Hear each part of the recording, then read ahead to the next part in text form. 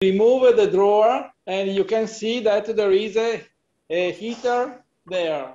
All right, let's see how this drawer comes out. Yes. Okay, have a look.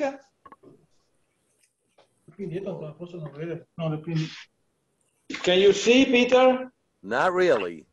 On the bottom, Now?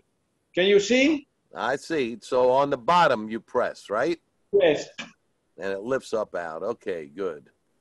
And uh, qua ci sono i connettori. here you have the connector, you see? Gotcha. Yes. So when the drawer is open, it will not heat. No, absolutely. Quando, il forno- quando è aperto non scalda. Yes. Adesso devo girarlo così vi faccio vedere. And now you can see the heater. Ah, it's, Luca, whoop, whoop. vieni, vieni a aiutare Fabio qua per piacere. move the camera. There you go. Yes. So the heater is in the bottom of the drawer. Yeah, that's right. And yeah, you Ah, can see right now, Peter. I got you. Okay. Lo appoggio per terra, poi si specifica questo qua. So to test the heater, Yes. all you do, you put the ohm meter on them two connections, correct?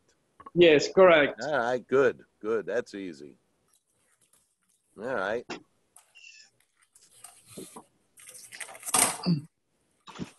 Now, to adjust the front, Wait, wait a moment, Peter.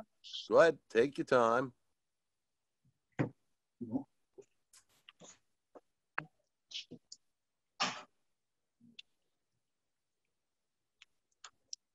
Allora, ci sono qua delle viti qua sopra. There is a screw over there. Okay. E dopo ci sono due qua.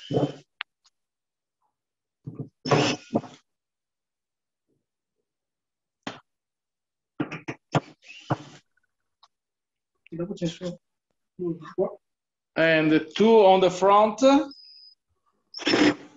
there. Uh, three there are three peter. Uh-oh, uh-oh. okay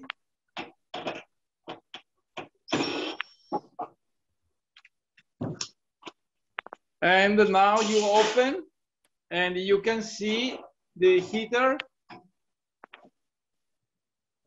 Oh, okay Gotcha. Fancy, fancy. How many volts? 110?